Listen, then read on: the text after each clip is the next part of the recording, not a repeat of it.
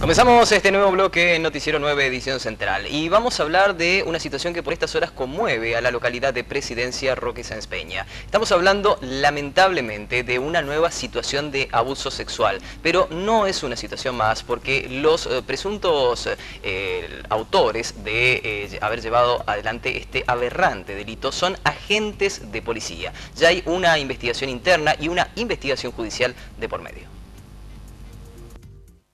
Tomamos conocimiento de que una ciudadana habría radicado una denuncia en Saspeña eh, contra personal de la comisaría sexta por un supuesto delito de eh, abuso sexual, es decir, un delito contra integridad sexual. En ese sentido es que, bueno, ayer dispusimos por orden general eh, que una comisión conformada también por, por, dos, por una abogada y, un, y otra personal oficial de, de aquí del órgano se acompañen, por, en virtud de que tomar la declaración en, en el contexto de género a esta, a esta ciudadana, a esta damnificada, eh, a la ciudad de Saspeña. También hemos pedido la, todo lo que tiene que ver con el geoposicionamiento de la móvil policial, en virtud que de la denuncia que habría radicado la, la ciudadana, este, ella habría, se habría personado primero a, a, dependencias de Gendarmería Nacional para radicar una denuncia porque estaba siendo víctima de una violencia en contexto de género por parte de su pareja. De ahí fue derivada a la comisaría sexta donde se le toma la denuncia y bueno, cuando se dispuso de que la conduzcan, ¿no es cierto?, que la lleven hasta su domicilio, eh, la denuncia ya que era que el móvil no habría ido hacia, su domicilio, sino que habría ido hacia otro sector más apartado de la ciudad,